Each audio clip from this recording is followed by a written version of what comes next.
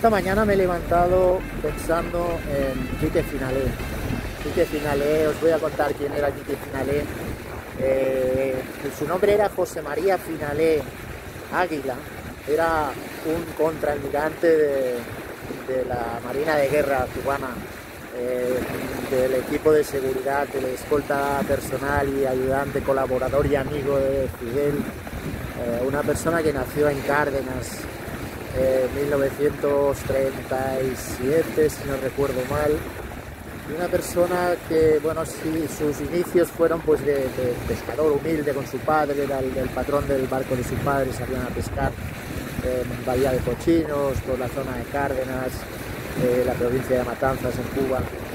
Y una vez, eh, después del triunfo de la, de la revolución, pues eh, era tal su efectividad, era una persona eh, tan responsable, era una persona tan organizada que Fidel lo fue ascendiendo, estudió en la escuela naval y Fidel lo fue ascendiendo hasta el cargo de contraalmirante eh, que ostentó hasta los últimos días de su vida. Murió en el 2008 también, si no recuerdo mal, 2007, 2007-2008 eh, y fue el que desarrolló, que por eso lo conocí yo, desarrolló muchísima, muchos, muchísimos eh, proyectos náuticos en la península de Cacos, que es la, la, península, la lengua de tierra, que sabéis que es donde se ubica famoso, el famoso pueblo, ciudad de, de Varadero, en Cuba.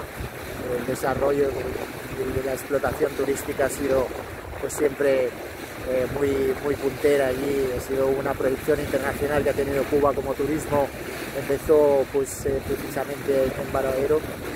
Y ahí se, se, construyeron proyectos muy importantes como fueron pues la, eh, la Marina Marlin, la Gársena, la Gársena de, de, Varadero, que era una Gársena que ya, ya había construido pues en la época de, de, de batistas ya existía, pues cuando empezó la época del turismo pues se, aprovechó. Eh, Quique Finalé fue finalmente reconocido como el principal responsable de todos estos proyectos. El último fue pues el desarrollo de la Marina Gaviota. La Marina Gaviota es la marina que hay actualmente al final de la península del Cacos, pasado un lugar que se llama Rincón Francés, Ahí es donde pues, había una pequeña base naval, se estableció un pequeño restaurante, de, pues, no, era más que un bohío, pero finalmente con el, la llegada del turismo se fue desarrollando y se estableció, se, desarrolló y se construyó lo que es la Marina Gaviota hoy en día. Y que Finalé, eh, y que es, ese es su, su, apodo, realmente se, llama, se llamaba José María, eh, pues eh, fue el que desarrolló todo eso con mucho éxito.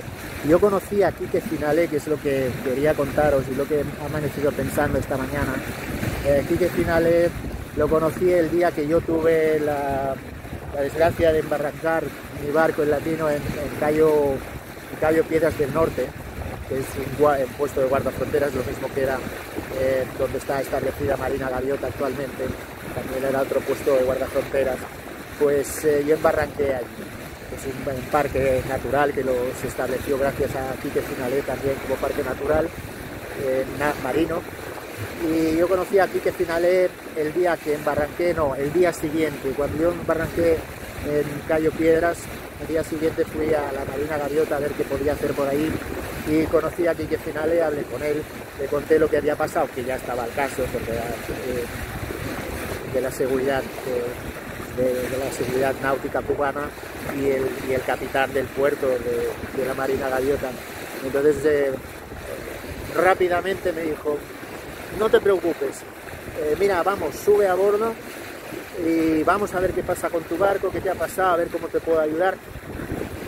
Tengo que decir que Quique Finale es una persona súper amable, súper humana, súper cercana, una persona que enseguida me hizo eh, pensar que era una persona pues, que la había conocido desde, hace mucho tiempo. Casi prácticamente se convierte, se convertía en amigo cuando hablabas con él. Una persona muy, muy cercana, una persona, eh, un, un, marino puro, de pura cepa, un marino con un aspecto muy, muy saludable, un aspecto muy saludable, una cara de salud impresionante, fuerte, aunque no era muy alto de, talla, eh, era una persona robusta y fuerte, se le notaba que era marino. Pues me dijo, ven, sube a la lancha, tenía una lancha y eh, una eslora como de 7 metros, 6 metros y medio, una cosa así, sin cabina, cabina abierta, había pues como, recuerdo como cuatro marineros que, estaban preparados para salir para Cayo Piedras esa mañana. Eh, subí a bordo, enseguida salimos de la marina como a 15, 20 nudos, directos a Cayo Piedras para que le enseñase qué había pasado. Llegamos a Cayo Piedras, ya digo, yo creo que eran cuatro marineros que nos acompañaban, que, nos acompañaban, que claro, lógicamente, pues aparte de marineros eran su seguridad, su escolta personal. Llegamos a Cayo Piedras y me dice, Eva, no te preocupes, vamos a sacar el barco. Esto, eh, la frase esta me, dejó un alivio, que fue eh, todo lo que había sufrido al día anterior con el embarranque del barco, eh, precisamente, pues si, queréis saber lo que pasó, tenéis todos los detalles y la crónica entera en la tienda de Faro Cayo Felipe.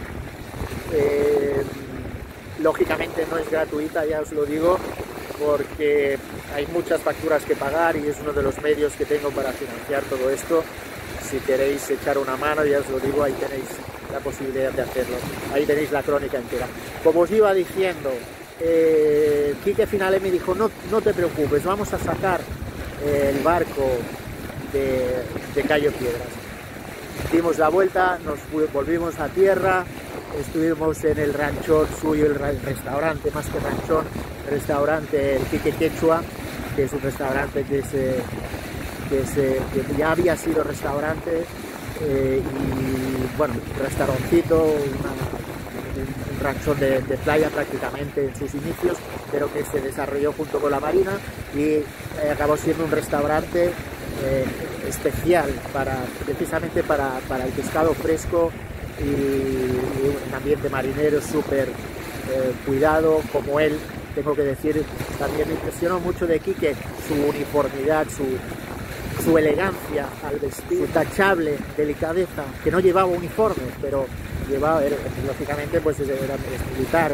Entonces, claro, sus marineros tampoco creo que iban con pantalón, short azul marino y camiseta amarilla, lo mismo que él, eh, pelo blanco. Eh. yo creo que murieron en el 2018, 2018-2017. Debía ser el 2015, una cosa así, cuando yo lo conocí.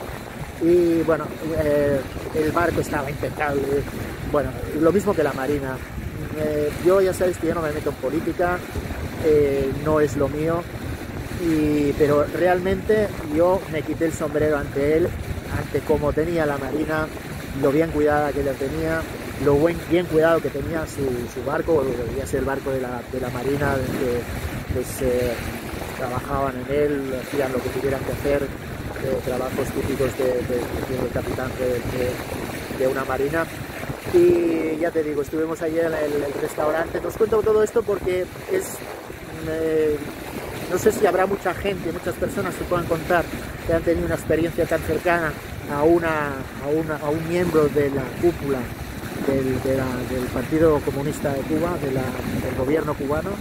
Y hay mucha gente que supongo que, que se pregunta y tiene intriga y tiene curiosidad en saber cómo son estos altos cargos de, de, las, altas esferas de, un gobierno como el de Cuba.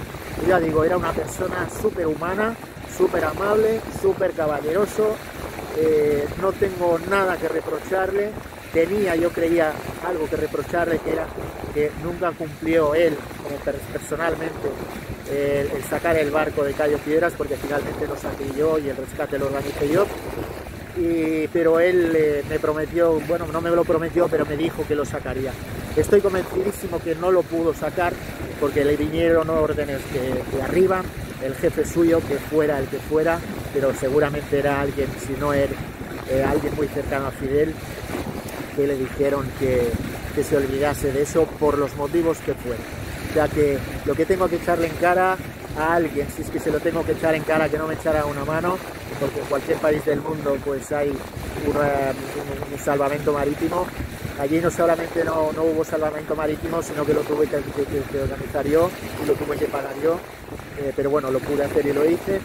Eh, lo único que tengo que echar en cara es que no, no se me ayudase más y que Quique no pudiese, no le autorizase, que estoy convencido de que fue así, no le autorizase a, realizar, llevar a cabo el rescate de, mi barco en la eh, más tarde incluso, cuando yo tenía el barco a flote otra vez, cuando ya lo había rescatado, lo había sacado de, encima de las rocas para llevarlo navegando a vela hasta como cuatro horas de, de Cayo Piedras a, la Marlin, la Marlin Dársena Varadero, la marina que hay al principio de, la península de, de Capos, de, la península de Varadero.